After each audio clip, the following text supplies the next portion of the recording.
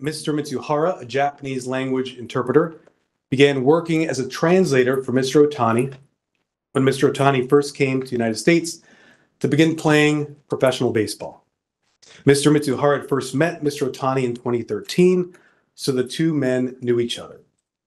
Mr. Ohtani did not speak or understand English, while Mr. Mizuhara knew English and was familiar with the United States. As a result, Mr. Mizuhara acted as Mr. Ohtani's de facto manager. In 2018, shortly after Mr. Ohtani arrived from Japan, Mr. Mizuhara helped Mr. Ohtani set up a bank account. That was a bank account that was used to deposit Mr. Ohtani's salary payments from professional baseball. Mr. Mizuhara had access to that bank account, and he refused to give access to Mr. Ohtani's other professional advisors, including his agent, his accountant, and his financial advisor. And he told them that Mr. Ohtani wanted to keep that account private. In 2021, Mr. Mizuhara began placing sports bets with a group of bookmakers who were linked to an illegal gambling operation. Over time, Mr. Mizuhara's bets became more and more frequent. And over time, Mr. Mizuhara's bets became larger and larger in amounts. Messages between Mr. Mizuhara and the bookmaker show that he lost considerable money on those bets, but he continued to make the wagers, thousands of wagers over time. The bets do not appear to have been made on the sport of baseball. At the same time he started placing the bets with bookmakers, Mr. Mizuhara began using Mr. Ohtani's account to make payments for the bank account. Mr. Mizuhara had helped set up the account, so he was familiar with it, and he used that familiarity to access the account.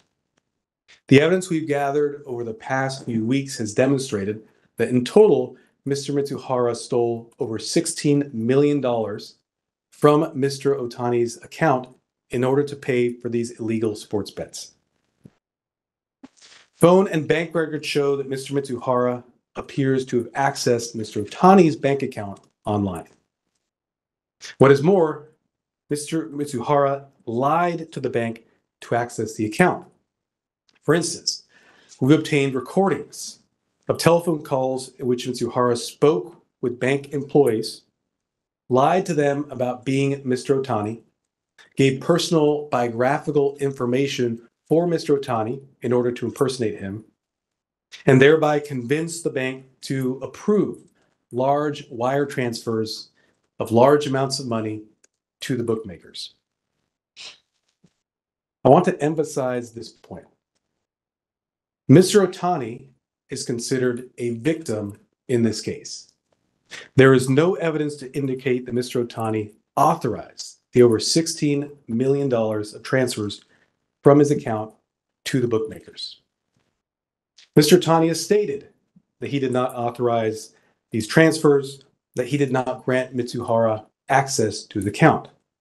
But on top of that, we reviewed both Mizuhara's and Mr. Ohtani's phones and their communications over time, over several years, thousands of communications reviewed by a Japanese linguist.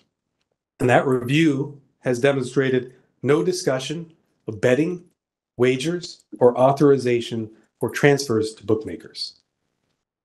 Furthermore, there would have been no reason for Mr. Mizuhara to impersonate Mr. Ohtani in calls with the bank if these transfers had been authorized. Also, when Mr. Mizuhara would occasionally win on his sports bets, the winnings were not deposited in Mr. Ohtani's bank account, but rather in Mr. Mizuhara's personal bank account. Finally, in a text message with one of the bookmakers, which is detailed in the complaint which is avail- available to you, Mr. Mizuhara admitted to the bookmaker to stealing from Mr. Ohtani. Let me summarize our investigation has revealed that due to the position of trust he occupied with Mr. Ohtani, Mr. Mizuhara had unique access to Mr. Ohtani's finances. Mr. Mizuhara used and abused that position of trust in order to take advantage of Mr. Ohtani. Mr. Mizuhara used and abused that position of trust in order to plunder Mr. Ohtani's bank account to the tune of over $16 million. And Mr. Mizuhara did all this to feed his insatiable appetite for illegal sports betting. In this way, we allege in the complaint, Mr. Mizuhara committed fraud on a massive scale. And let me note, what we filed today here is a complaint. Mr. Mizuhara is presumed to be innocent, but you can see all the allegations that we've made in the complaint that's been filed. Finally, let me offer some thanks in this case. I want to thank the amazing investigative team in this case for the work that they did. Investigators with IRS criminal investigation, investigators with Homeland Security investigations, and with our office, United States Attorney's Office for the Central District of California, worked tirelessly, worked quickly, and worked thoroughly to bring this charge against Mr. Mizuhara. I want to thank in particular the Assistant United States Attorneys in my office who worked on this case. That would be AUSA's Jeff Mitchell, AUSA Rachel Agress, and AUSA Dan Boyle.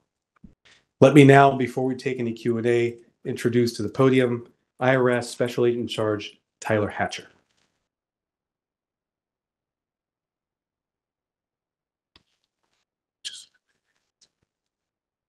Good morning. Thanks, Martine. As you've heard, my name is Tyler Hatcher. I'm the special agent in charge for IRS criminal investigation here in the Los Angeles field office. We often get asked, why is IRS involved in these kind of cases? And IRS criminal investigation special agents are the best in the world at following the money. And I want to uh, give my comments to uh, to shed some light on on how quickly the federal government and in particular U.S. Attorney's Office, my office, and HSI marshaled our resources to get a resolution to a victim, and in this case, Mr. Ohtani.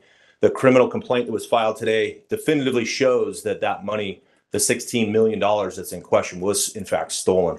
And we want to continue IRS criminal investigations um, efforts in protecting sports at the highest levels. We have a long history of getting involved in cases uh, dealing with sports at the highest levels, and this is just another great example of the federal government working together for a quick resolution. I'll turn that over to Eddy Wang. Thanks, Tyler. Good morning, everyone. My name is Eddy Wang, and I'm the Special Agent in charge for Homeland Security Investigations here in Los Angeles. Uh, HSI is the principal investigative arm of the Department of Homeland Security, and one of our top priorities is targeting illicit uh, financial activities. As you just heard earlier today, a uh, federal criminal complaint was filed alleging that Mr. Ippei Mizuhara uh, illegally transferred billions of dollars from Mr. Ohtani's bank account for which he was not authorized to do so. These charges stem from the outstanding work of our special agents uh, assigned to the HSI-led El Camino Real Financial Crimes Task Force, who worked collaboratively with our steadfast partners at the IRS Criminal Investigation and U.S. Attorney's Office. In particular, I'd like to take a quick second to recognize uh, the outstanding work uh, done by the prosecutors on this case, uh, Assistant uh, U.S. Attorneys uh, Jeff Mitchell, Dan Boyle, and Rachel Agress. Thank you for your work on this matter. Uh, look, there is much work to be done regarding financial crime in the greater Los Angeles metropolitan area. Uh, but the, elder, uh, the El Camino Real Financial Crimes Task Force is up to the challenge and will continually, excuse me, and will continue to dil diligently target financial crimes like this. Thank you. I'm going to try to coordinate Q and A, so show of hands. Nobody? Oh, get out of here. You don't know.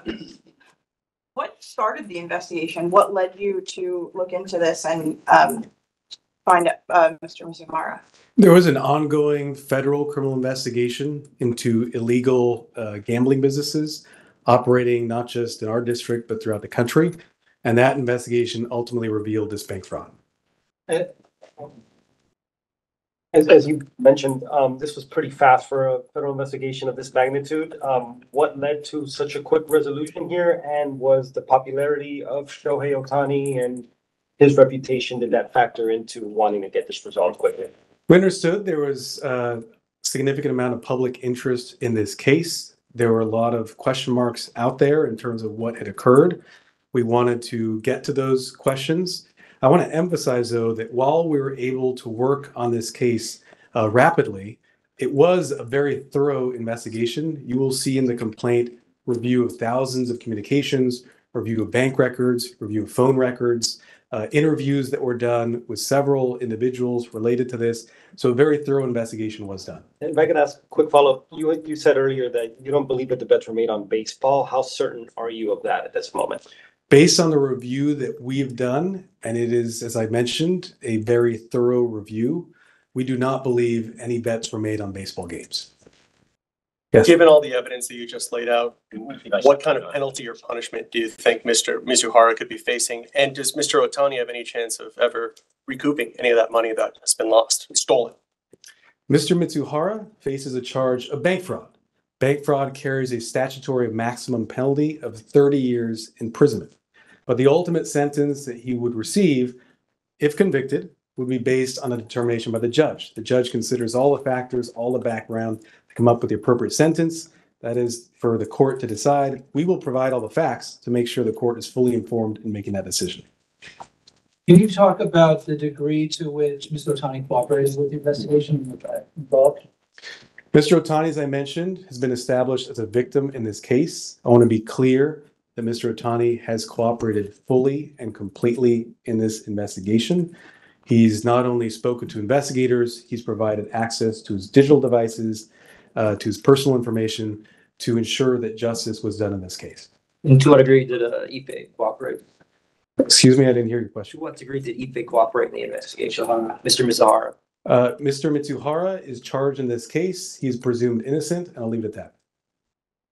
Oh, has, what is, it? what are the next steps? Um, has Mizuhara already pled guilty?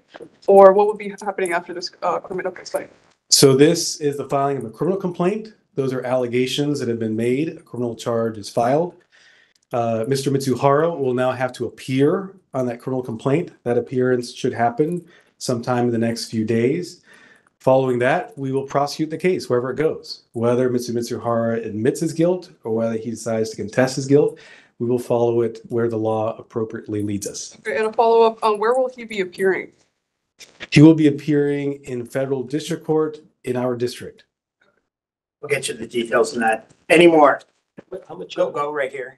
Will Mr. Ohtani continue to be asked to uh, take part in the investigation? Mr. Ohtani has cooperated, as I said, completely and fully in this investigation.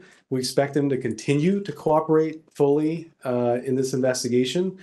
We don't have specifics in terms of requests that we would have right now, but certainly over time, we expect that cooperation to continue. Take two more, Steph. Did, um, Mr. Mizuhara say to his, the bookmakers, did he say he was a representative of Mr. Ohtani? Did he ever reference Mr. Ohtani in his communications with the bookmakers? We don't have uh, those types of facts to give to you. What I can say is uh, Mr. Mizuhara was the lead. He was the one placing all the bets. He was the one doing all the interaction. And these bets were made on his behalf and for himself. As I mentioned, he, he lost over $16 million, but occasionally he would win. That money did not go to any account owned by Mr. Ohtani. That money would go to an account that was personally owned by Mr. Mizuhara. But did he say like, when he's placing bets, hey, I am, you know, sort of for, for, for boasting? You know, I I am, I'm a representative of Mr. Ohtani, not, not placing bets for him, but sort of boasting his connection. to Mr. I'm not aware of that. When you have a detailed complaint, you can review it and you'll see some of the communications there. Matt?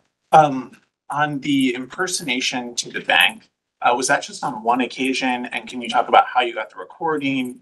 And was he speaking in English in that or in Japanese? Just, um, walk us through how you obtained that and, any further details you can share.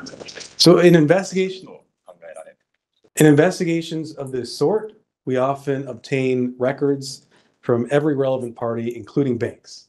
Banks will at times uh, have recordings of communications related to an account.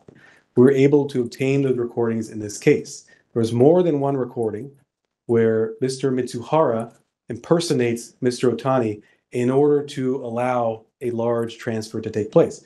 Many of you, I'm sure, have experience with this in your personal lives. A, a transaction takes place. The bank may view that as suspicious, may reach out. In this case, when they reached out, they would get Mr. Mizuhara, who would pretend to be Mr. Ohtani to make sure that the money went through. Okay, last one right here. I was just gonna ask if you had any um dialogue with Major League Baseball during this process. The investigators have had dialogue with uh, the victim in this case, Mr. Ohtani, and have had dialogue with other interested parties, and I will leave it at that. Not not with MLB. Other question? Yes? Has Mizuhara been arrested and booked, and does Mathew Bowyer face any charges? So as I mentioned earlier, Mr. Mizuhara is expected to make his appearance in the next coming days, and he'll make his appearance in this district.